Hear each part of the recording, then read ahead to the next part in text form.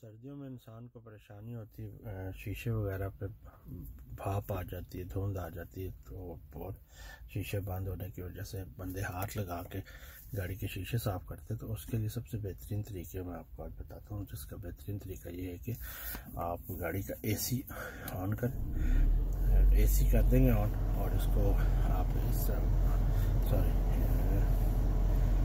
या इस, ऑप्शन पर क्लिक कर देंगे या इस पर कर देंगे। करेंगे आप। और बस आपने उसको छोड़ देना। विद इन वन मिनट्स अगर आपका एसी गाड़ी का ठीक है, आपको सारा विंड स्क्रीन वगैरह सारे साइड में साफ़ हो सर, सर्दियों में ये बहुत मसला होता है, बारिश वगैरह होती है आमतौर पर तो बंदों को ये मसले होते हैं, लोग फ़ैन चला देते हैं ए एसी आपने सिर्फ़ एक मिनट ए सी ऑन करना है, और उसको आपने इस तरफ़ फ्रंट शीशे की तरफ़ करना है। इन एक मिनट के अंदर ए सी साफ़ हो। जाएगा शीशा साफ़ कर देगा।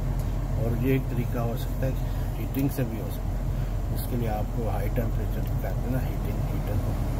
आप कर दें हाई फिर आप इसको फ्रंट पे कर दें। ये ज़रा स्लो है, लेकिन इस तरह भी आपका गाड़ी भी गर्म रहेगी और आपका शीशा भी साफ़ होता रहेगा ये दो तरीके हैं शीशे की। से भाप या तो ख़त्म करना